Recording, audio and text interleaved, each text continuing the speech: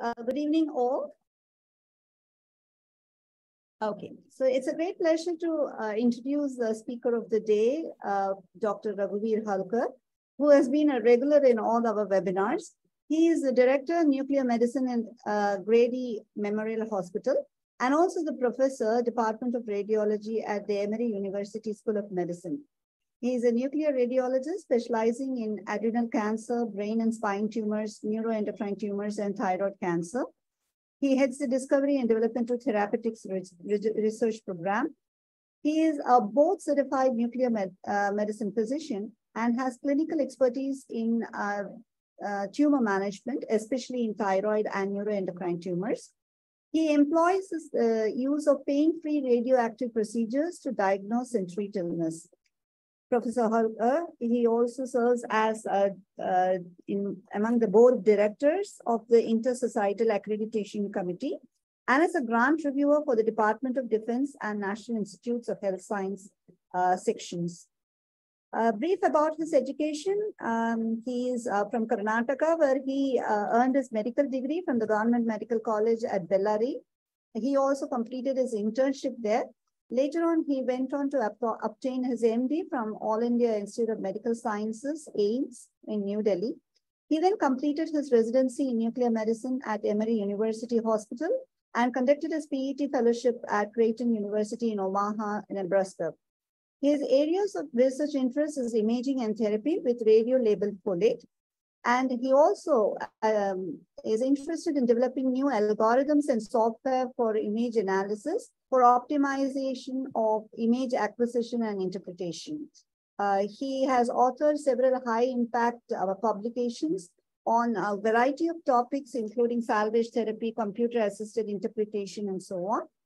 Uh, he has won several awards, including the Marshall Brucer Award from the Southeastern chapter of Society of Nuclear Medicine and Molecular Imaging in 2012 for his contributions to nuclear medicine. Today, he is going to enlighten us on the topic of imaging science. And uh, over to you, Dr. Halkar. Uh, uh, thank you uh, for such a kind in introduction. And it's a pleasure to talk to you guys. And uh, uh, let me share the screen. will will they allow, will you guys allow me to? Oh, maybe I have the.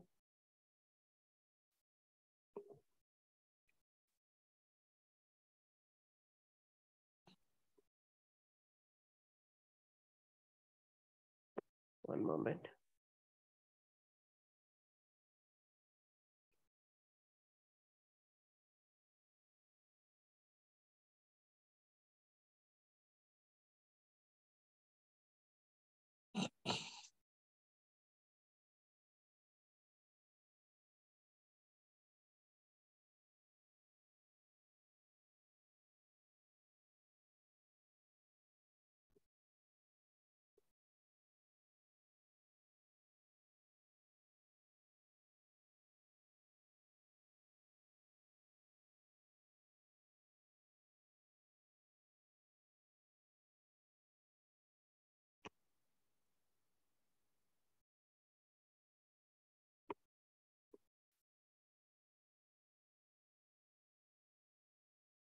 Can you see my screen now?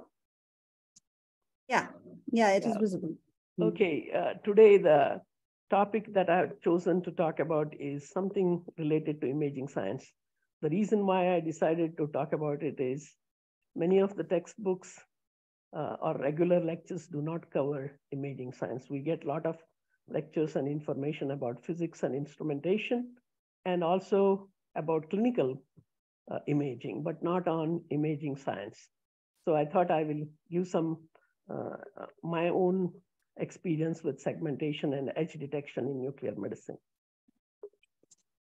I have disclosures.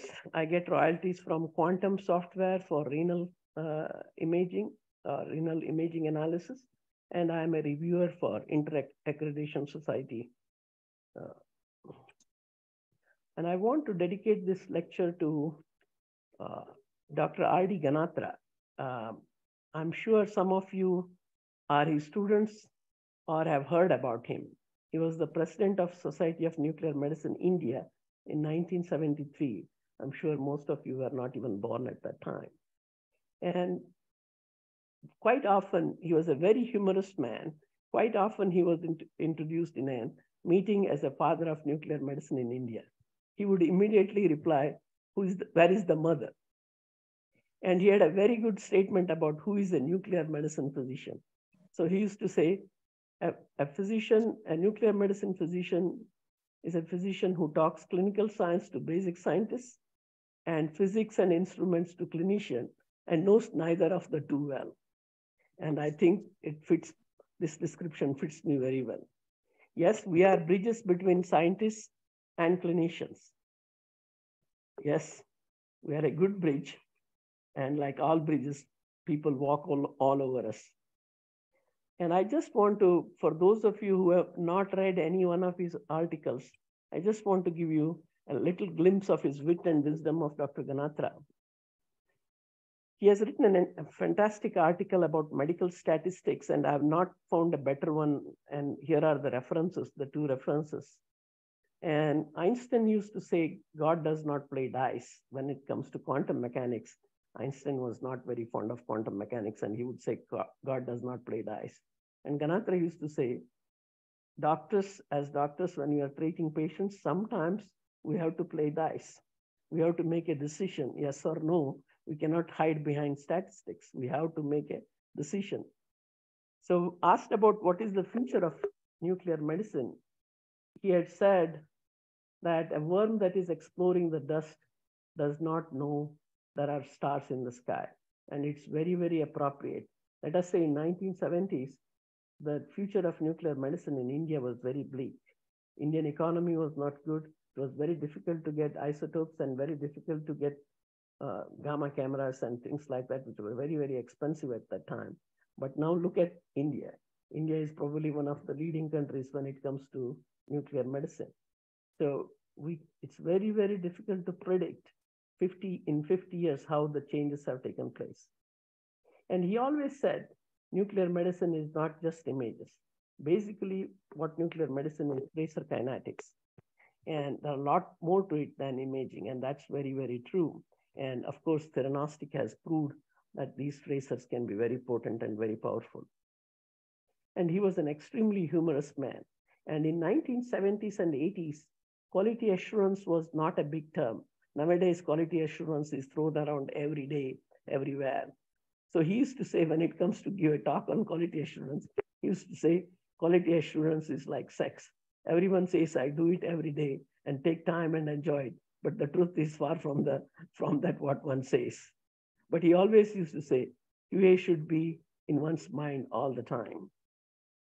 So that was the wit and wisdom of Dr. Ganatra. And if any one of you youngsters want to look at these two papers, it will be a very interesting read. So now the today's topic in proper is segmentation in image processing. Uh, segmentation can be also called as edge detection, but a broader term is segmentation and a specific term, a specific part of segmentation is edge detection. Segmentation is a process that partitions the image in portions that can give more information in less time during interpretation and help quantify the image findings. These days, images, in any image, there are hundreds of images. In CT, the slices are becoming thinner and thinner. We are in PET, we are doing whole body imaging routinely. So we have to see a lots of data in those images. And having some sort of segmentation minimizes your uh, time to interpret. And here you can see in a uh, scan, you can very clearly differentiate cortex from the white matter, gray matter from the white matter.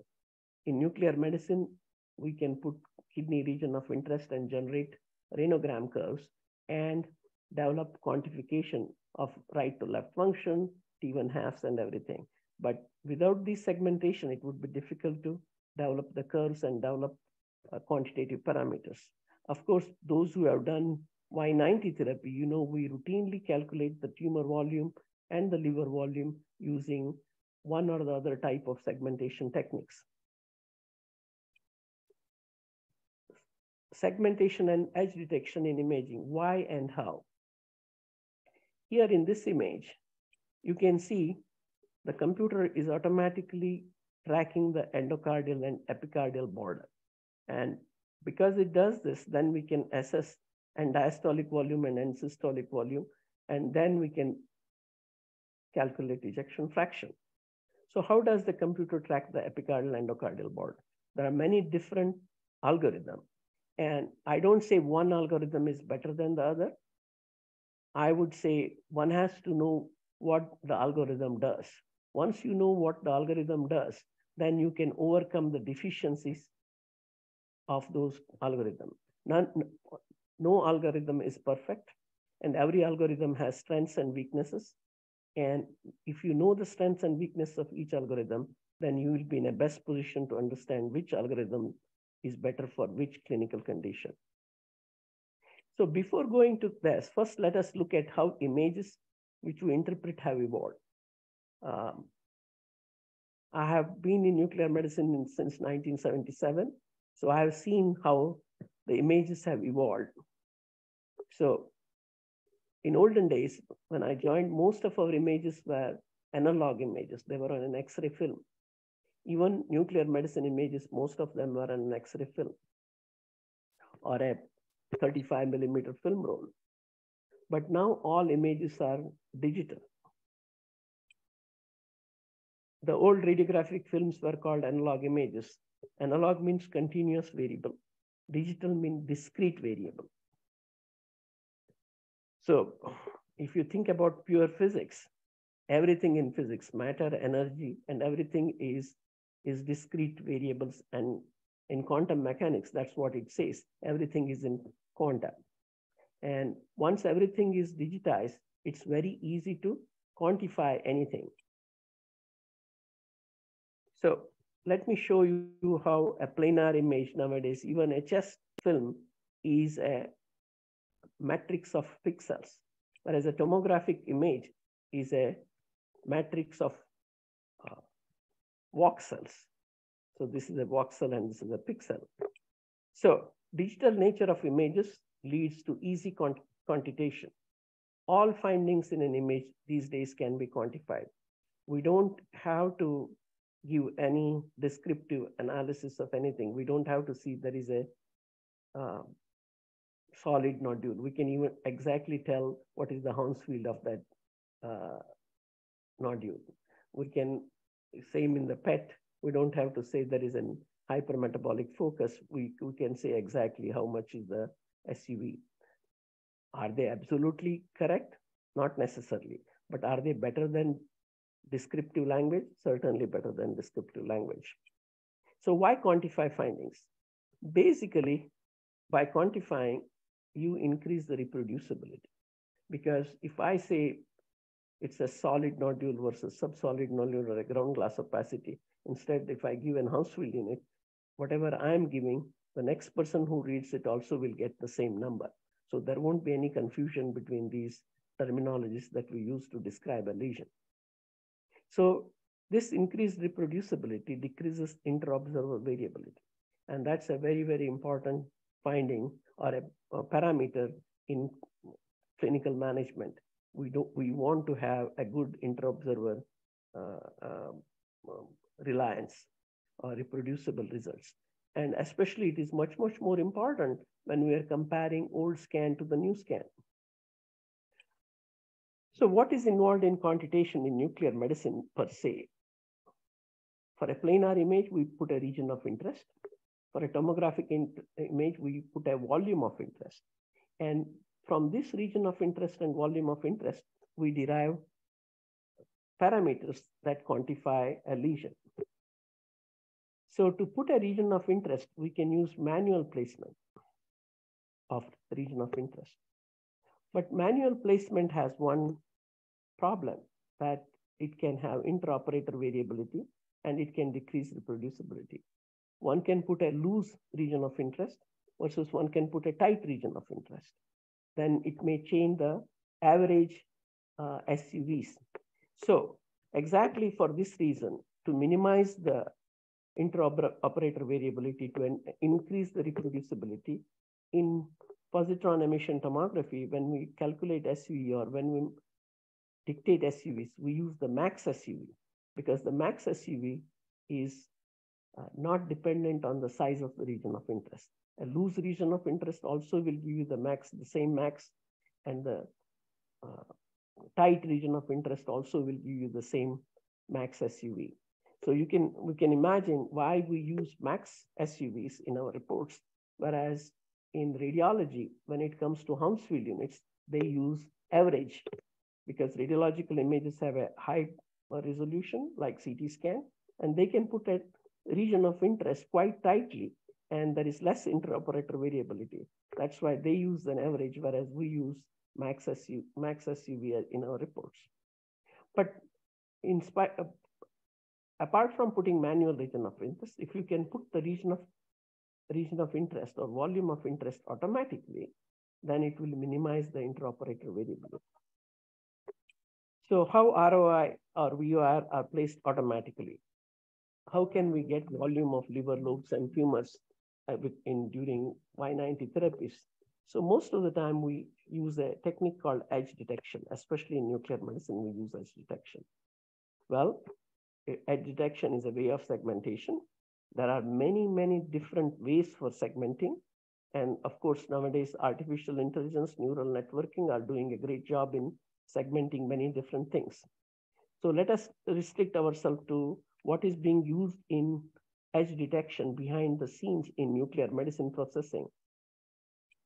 So definition of an edge and use of an edge detection.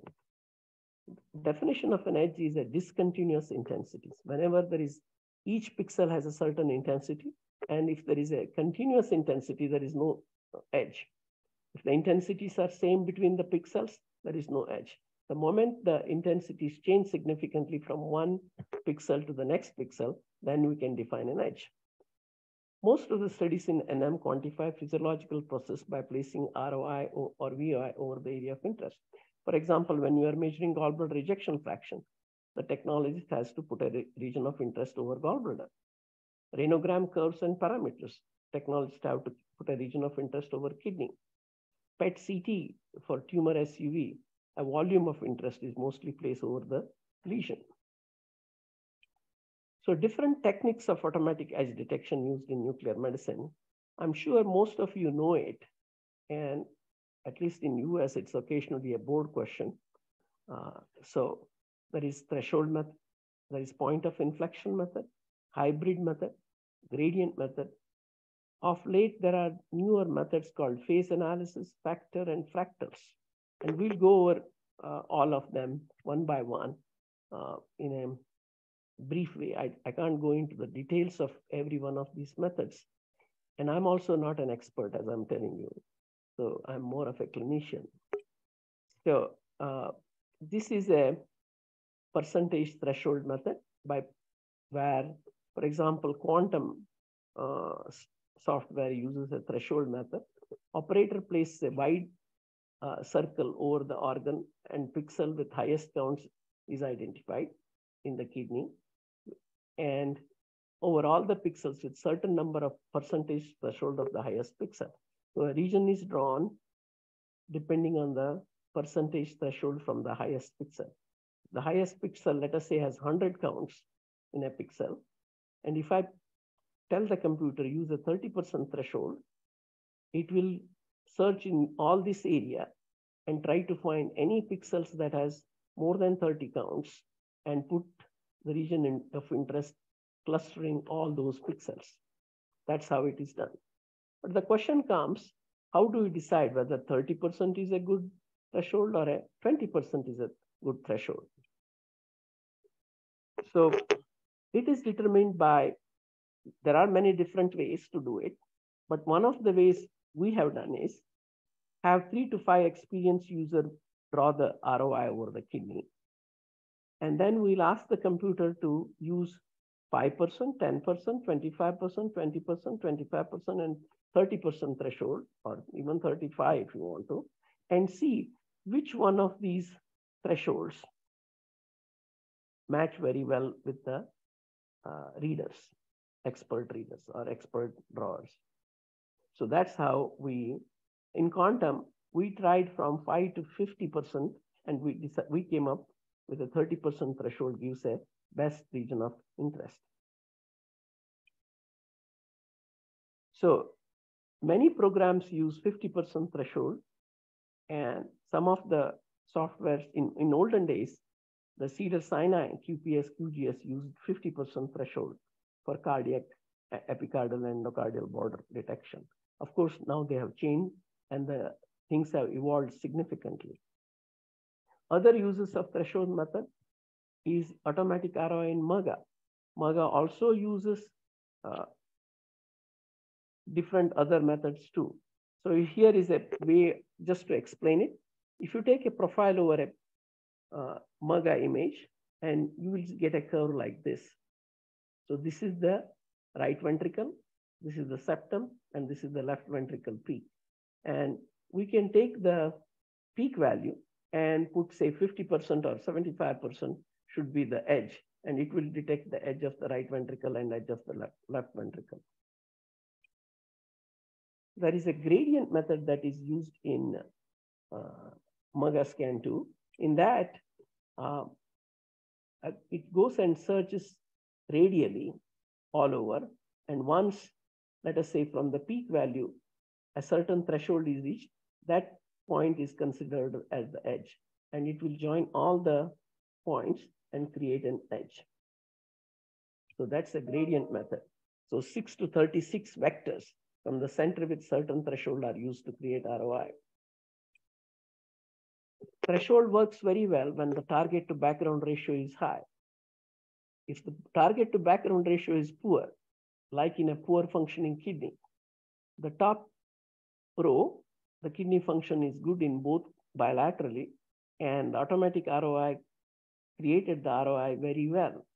But in the bottom row, the left kidney doesn't have a good count rates or good function. And the computer is struggling to put a good region of interest over the left kidney. So in many physiological imaging, as the function of the organ goes down, then the threshold method fails to correctly detect the edge. There is a method called point of inflection or a second derivative method. Second derivative is, is the change in rate of change. For example, in this curve, if it is coming down and then the rate changes, it becomes less and less. This is the point of inflection. And here it is the point of inflection. For example, it's coming down, but then it became flat. So the rate of change has become very less. So that's the second derivative. Those who are in banking or in finance would know what is a second derivative and could have been burned by that. So that point is the inflection point. So some softwares use either a particular threshold or use an uh, inflection. So that's the hybrid method. Either a given threshold, 20% or 30%, whatever has been decided, will be used from the peak value or point of inflection, whichever comes first, that will be used. And that method is called hybrid method. In oncological imaging, when we do a whole body PET CT and a, um, tomographic images, you need to pr produce volume of interest or place a volume of interest to get the information, not a region of interest. So if you are using a volume of interest, then there are many different methods in the volume of uh, interest. And by that, you can assess total lesion glycolysis, not only just maximum SUV. I'm sure some of you have used total lesion glycolysis, how it makes a difference when you are comparing old scan to new scan the SUV might have changed or come down, but the total lesion glycolysis might have gone up because the tumor grew in size, but the SUV has gone down, but the total lesion glycolysis has, has increased. So there are many algorithms for uh, total, uh, for calculating the tumor volume. And there are many of them are AI based. Some of them are not AI based. Some of them are gradient method, uh, and I, I will not go into the details of every method.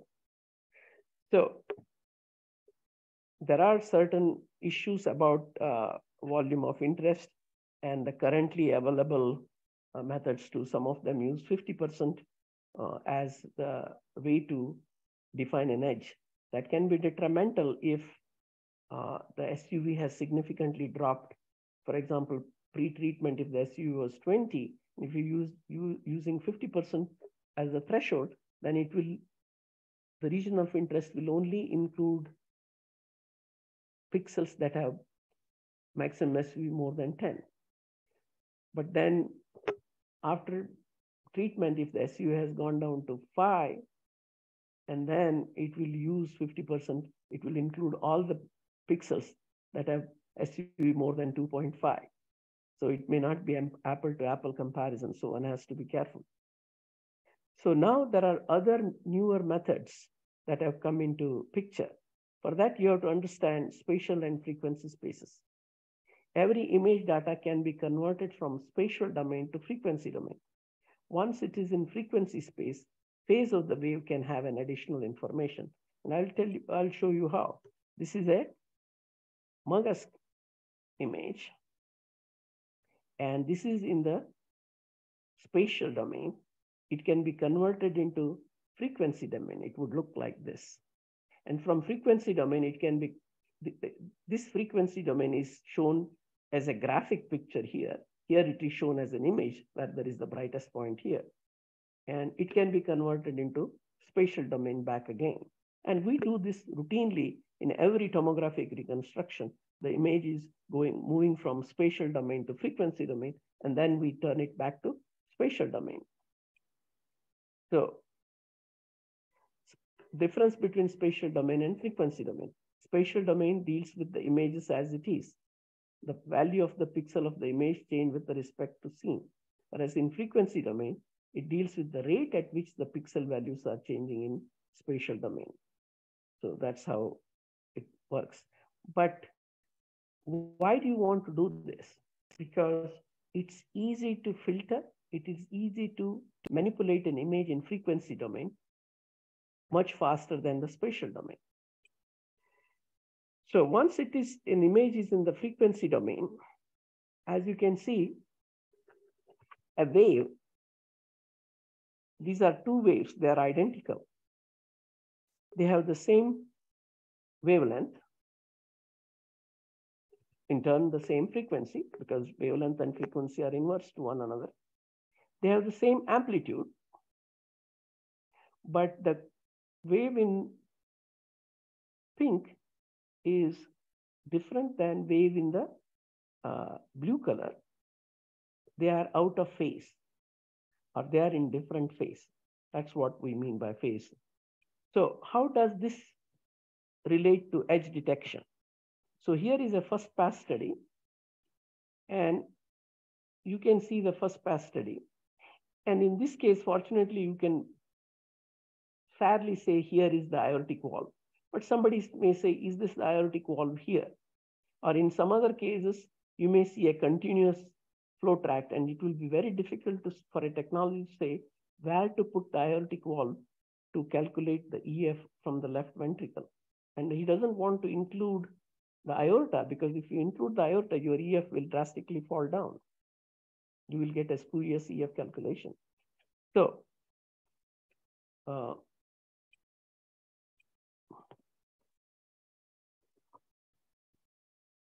One moment, sorry for that.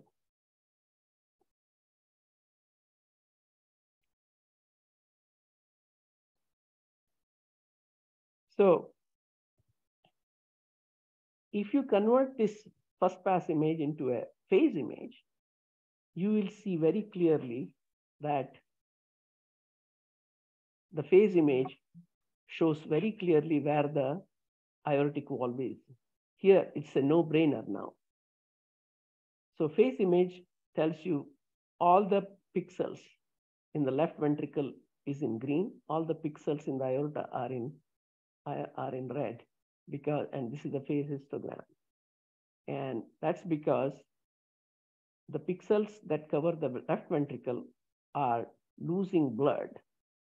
And when they are losing blood, pixels in the aorta are gaining blood. So they are out of phase. And the phase image very easily discriminate, uh, shows where the edge of the left ventricle is. So phase image is a very powerful tool to assess uh, edges. and segmentation. And this is possible in a dynamic image. It's not necessarily possible in all the um, um, so there are other uses of phase in, uh, analysis. I'm sure you know about it. This is a patient uh, who has had a EF calculation with MUGA, or radionuclide equilibrium uh, scan. And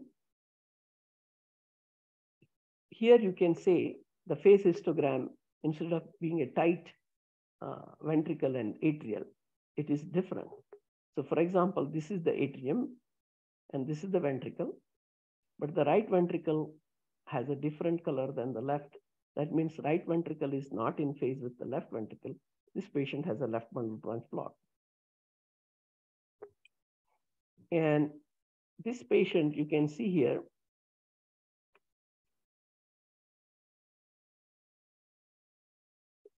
you, you can say that the EF is not so good by looking at this image, uh, dynamic image, but you won't be able to tell whether there is an definitely tell there is an aneurysm or not in the apex. As the phase image shows a different phase in the apical, anteroapical portion of the left ventricle, and that is a telltale sign of an aneurysm. So phase images do help a great deal in making diagnosis. So phase is one way of segmenting the image, and it not only helps in putting the region of interest correctly, but also aids in uh, uh, diagnosis and making the diagnosis more confident. Factor analysis. Factor analysis is an another extension of uh, phase analysis. Uh, some of the computers, softwares, especially coming from France, have, have used factor analysis extensively. So let us say in left ventricle assessment, function assessment, it was straightforward, easy. Whereas if you are looking at a renogram or renal images, dynamic images, uh, if you use phase image in a renogram, you can create a phase image in renogram too. You will, you will have multiple, multiple phases because the cortex has one phase, collecting system comes later, then the pelvis, then the ureter. So you will have a myriad of phases in the renal image. And it may not help you. Having too many segmentations also is counterproductive. You want physiologically meaningful segmentation of an image. For example, I would like to have a cortical region of interest and one collecting system and pelvis, and maybe one other one as ureter. Not more than three segmentation in the kidney. If you do 20 segmentation of the kidney, it will be too difficult to interpret anything. So factor analysis, these clusters, these variables, and puts it into two or three factors. And how many factors you have to use depends on what sort of physiological process you are looking at and what, do, what are you trying to obtain from those images. So that's where the factor analysis, and you can get quite a few uh, uh, factor analysis papers in the literature, in, even in Journal of Nuclear Medicine, way back 10 to 15 years. And some of the uh, softwares use factor analysis to put automatic region of interest in the renogram. Now, the latest one is fractals. I'm sure some of you have heard about fractals or have seen nice pictures of fractals in the internet. And this is one of them. And fractal is a very recent phenomenon. Uh, the term fractal was first used by mathematician Benoit Mandelbrot in 1975. So it's only 50 years old. In mathematics, a fractal is a self-similar subset of Euclidean space whose fractal dimension strictly exceed its topographical dimension. Fractals appear the same at different levels, as illustrated in successive magnifications of the Mandelbrot set. This is one of them. What fractals basically means is a macro mimics micro. Uh, so that is the basis of fractal. And fractal has been used in many, many different uh, uh, applications. And fractals are used in predicting stock market and edge detection. Uh, so if the stock market is losing slowly or gaining slowly, maybe the next future will be it will gain. So that's how the fractals work. And you can find a few articles, quite a few articles about MR imaging using fractal analysis for differentiating primary CNS lymphoma and glioblastoma. So fractal in nuclear medicine, I have not seen many papers using fractals in edge detection or segmentation. So the next uh, 10 minutes I will spend on what is the contribution of Emory University to this region of interest placement, automatic region of interest placement, or edge detection or segmentation. First question is to ask, do we need to detect edges to place region of interest? Not necessarily. It is actually easy to detect the peak than the edge. Modeling a, pri a, pri a priori knowledge of the structure you are planning to find the edge for left ventricular wall one centimeter and use finite resolution effect to see changes in thickness in end systole and diastole were used in Emory cardiac toolbox to detect the epicardial and endocardial borders. Uh, so for that, you may have to understand that below three spatial resolution, change in intensity of an object is proportional to change in thickness. This is called as finite resolution effect. So especially for tomographic, is below times three spatial. For planar, it is below times two. Uh, Tracy Faber, uh, she's late Tracy Faber. She was a fantastic physicist at working at Emory and made this big contribution of developing a new algorithm for edge detection. So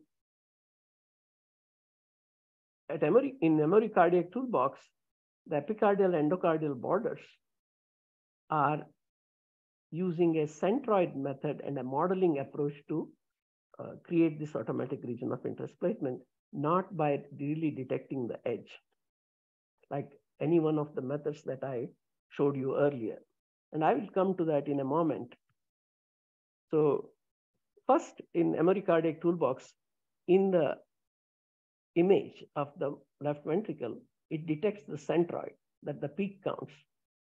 And in normal, it goes ahead and puts endocardial border and epicardial border five millimeter away from the peak on either side, assuming that one centimeter is the thickness of the myocardium and an average thickness of the myocardium.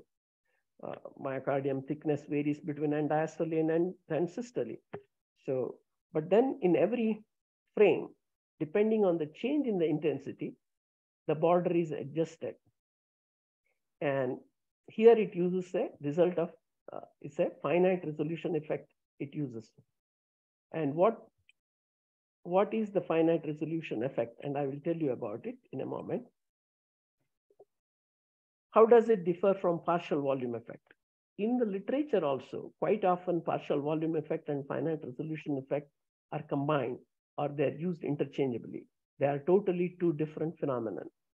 Uh, I just want to ask a question for you. Any one of you have heard about finite resolution effect? Feel free to say. Uh, but anyway, I'll go ahead. Finite resolution effect is lumped in partial volume effect in many articles and in the literature. At the best, finite resolution is a special case of partial volume effect.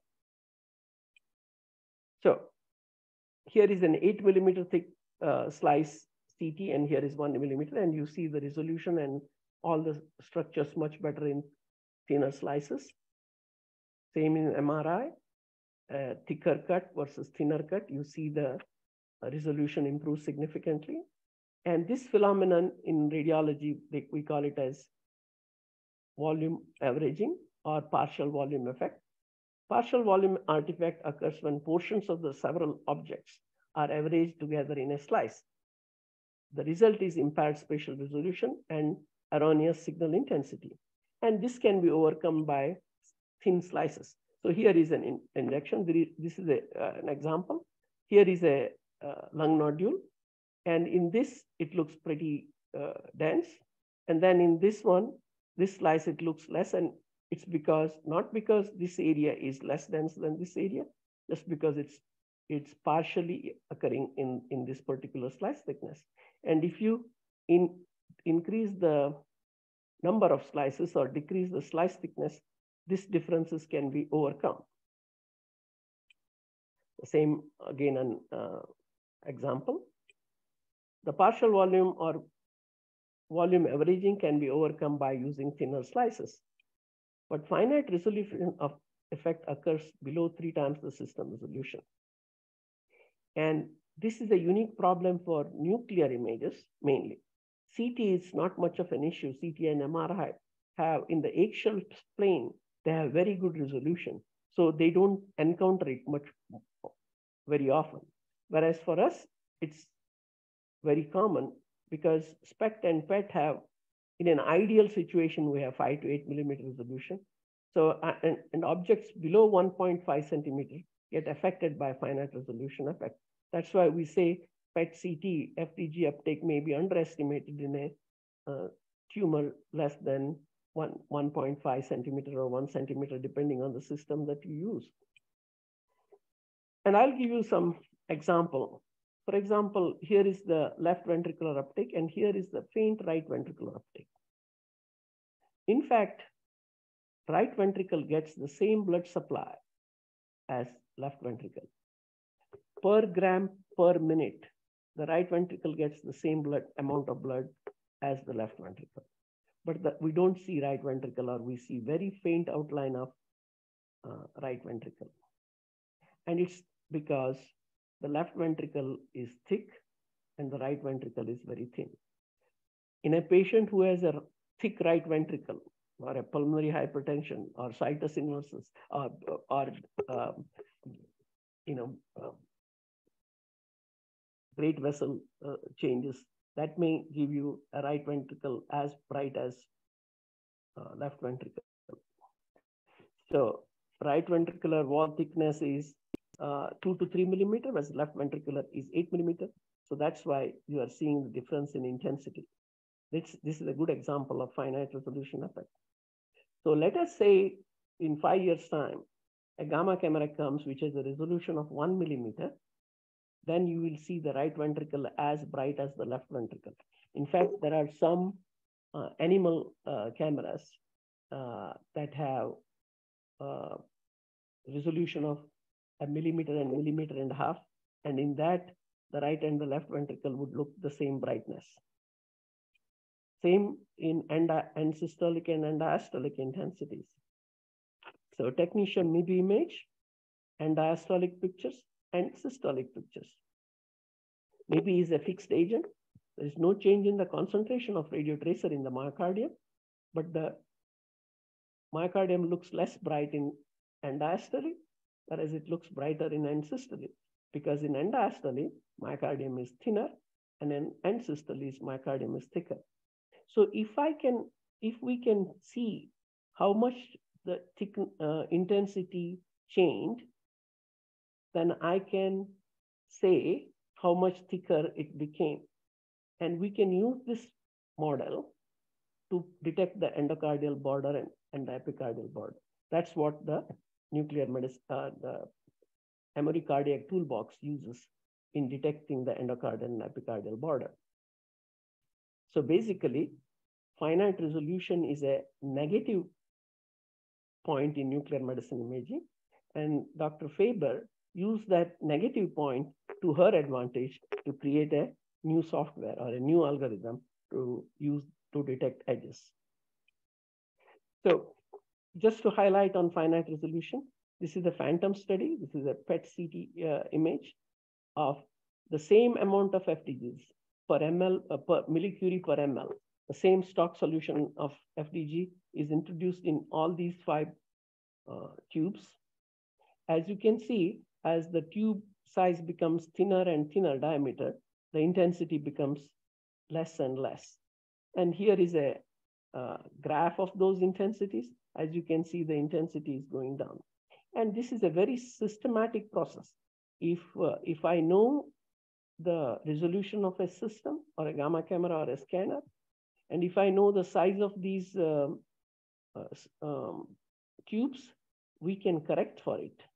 And that's what the resolution recovery software does uh, in many types of iterative reconstruction these days, most of the PET scanners, uh, all vendors have developed resolution recovery softwares, and they can, uh, even a smaller nodule will maintain the fidelity of its FDG concentration. So that's how uh, we use uh, the centroid and the finite resolution effect, which is a negative point, but used to our advantage to create endocardial and epicardial border. And it has worked reasonably well. But there is a problem with centroid model. Uh, that's because, and final finite resolution effect. Finite resolution effect, the negative effect goes away once the organ of interest is more than the three times your resolution. Let us say you have five millimeter resolution to your fantastic camera. And if the myocardium, left ventricular myocardium is two centimeter in a hyper uh, cardiac cardiomyopathy, a thicker myocardium, then the Emory cardiac toolbox fails. So be careful about reading EF in a patient who has a very thick myocardium using Emory cardiac toolbox, okay? If the object is more than the three times of the resolution, then the algorithm doesn't work.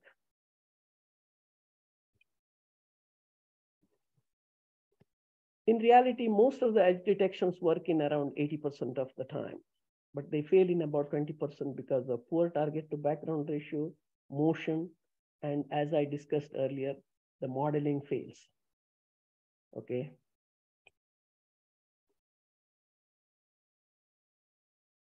So the use of uh, region grow to assess liver volume is used routinely in uh, MIM software. AI-based segmentation, a topic for another time. It's a big topic and a lot of neural networks. And the larger your data uh, to train the AI-based uh, segmentation, the more effective it will be. So in summary, why use quantification while reporting results of images? Different methods currently available for segmentation and detection, finite resolution effect, and Emory way of determining endo, endo and epicardial borders automatically. That's what I've covered. And um, what I'm going to say is, uh, as, uh, as most of our nuclear medicine images are digitized, quantification is will be increasing year by year. And I'm sure in the next uh, uh decade, we'll be using more uh, objective and less uh, interoperator variability in our reporting.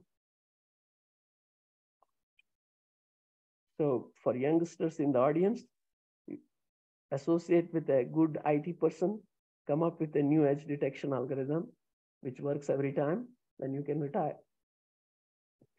Okay, thank you. Thank you, Dr. Halkar. It was a wonderful talk. And even that's like me were able to understand the basics of segmentation. Uh, so the forum is now open for uh, questions.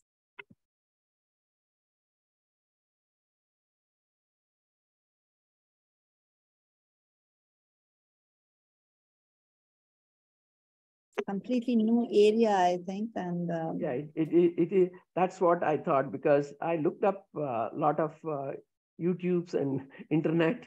There's so much about physics and everything else there, instrumentation. And I thought imaging science is one that is not very well covered uh, right now in the internet. And um, many of the standard textbooks uh, do not have extensive uh, information about it. Absolutely, yes. What about the accuracy of these uh, segmentation? As you said, there can be different, a host of algorithms that are available. Uh, so yes. um, how do we go about uh, choosing the right one in, in terms of the uh, accuracy? As I told you, there is no right one because every vendor these days gives you some some tools. So, uh-huh. uh, so the question becomes like this: Is you have to understand the vendor's um, program and what algorithm the vendor has used. Uh, one, and find out the strength and weaknesses and overcome it. Because, for example, you have GE and that has given you uh, some software. You have nothing mm -hmm. else. You can't go ahead and invent a new one at all.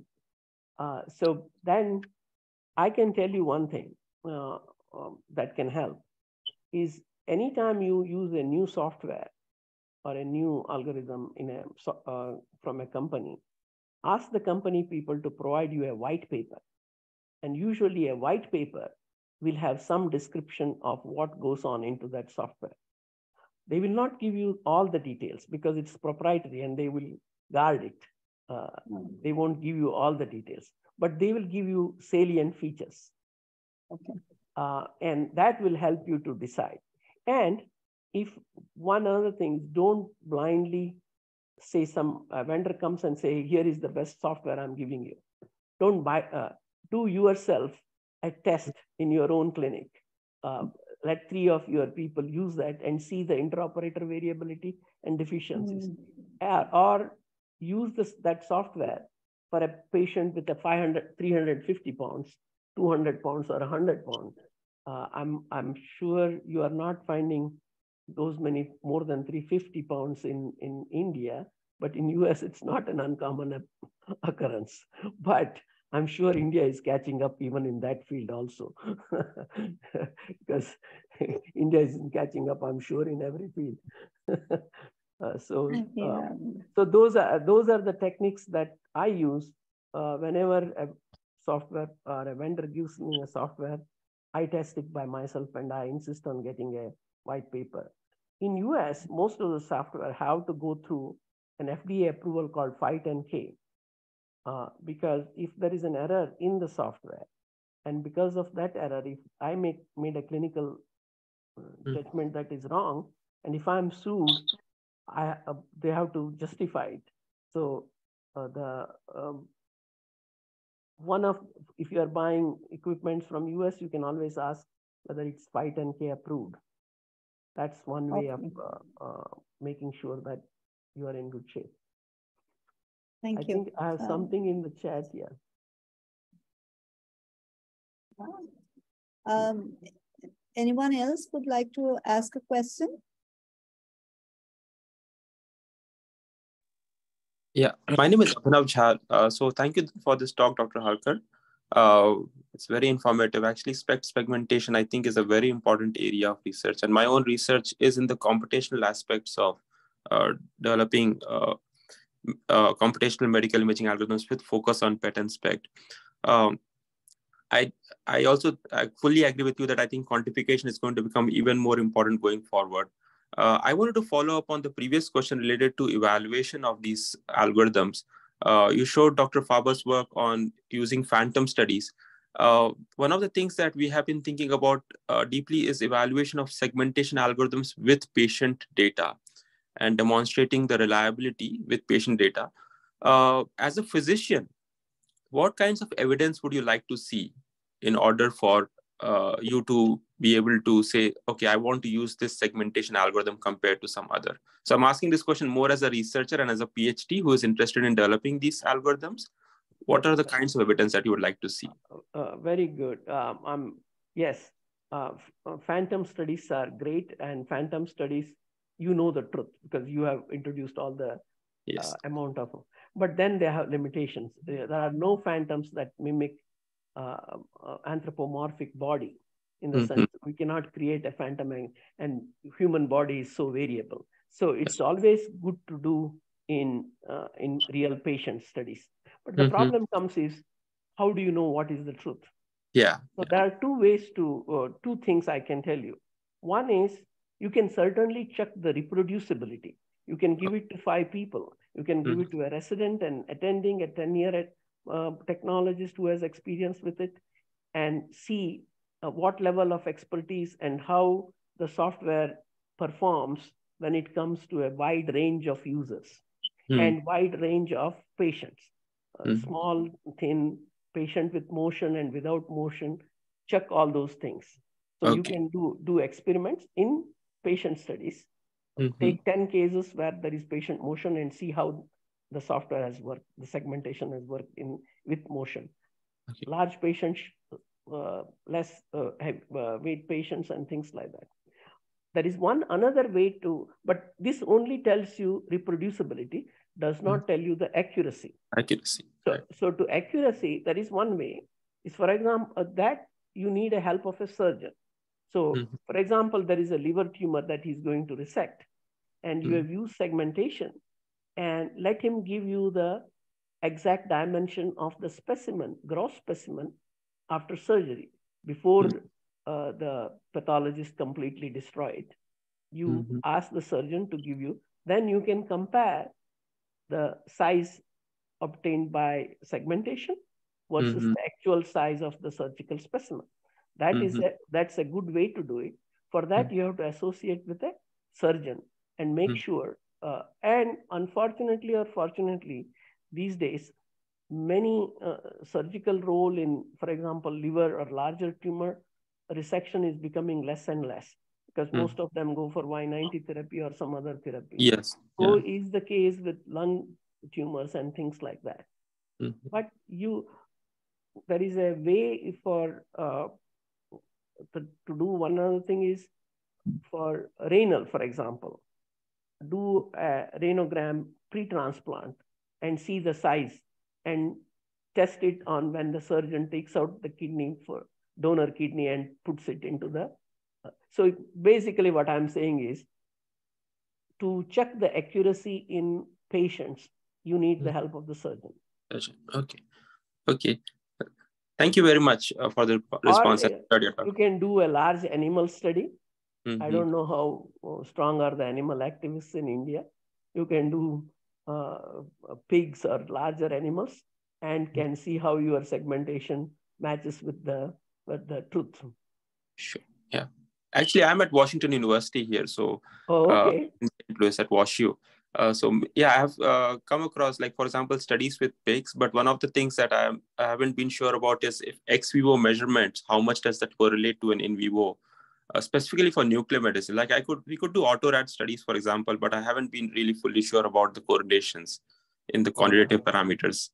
Yeah, that's that's tough. Yeah, yeah, we have done a few, you know, pig studies, and we have mm-hmm. the data. And uh, Tracy Faber mm-hmm. has used uh, pig studies to uh, use some of our uh, proof of the algorithm. Yeah. Okay. Okay. Thank you once again. I really enjoyed your talk. I look forward to following up. You're welcome. Thank you. Okay. A- any further questions? Well, somebody has said very good comment. Zoom has also used to edge detection technique to blur your background, Dr. Halkar. that is oh, very, yes. very, you know, um, uh, edge detection is much more in Hollywood and in games. Uh, most of the uh, computer games use uh, edge detection very effectively. So in fact, um, we, we have to pa uh, partner with that kind of IT people uh, actually uh, in US, most of the brightest minds in uh, um, IT goes to developing games, which, which has more money than anything else. Now, the bottom portion comes to medical sciences. Absolutely. not, the, not the cream, the cream. They won't come to medicine because we won't pay them much. Oh, yes, thank you, Ishani. I think all of us feel the same way. Thank you very much, sir, for such a wonderful talk. Okay, I think all you. of us learned a lot. Uh, it is um, it's something that's very important, and I think you dealt with that uh, very complex uh, scenario with very simple uh, building up, you know, gradually starting from a pixel and voxel. So thank you very much. Thank you. And I think in the absence of any further question, um, uh, thank you let us all join together to thank Dr. Halkar. And uh, thank you all for joining.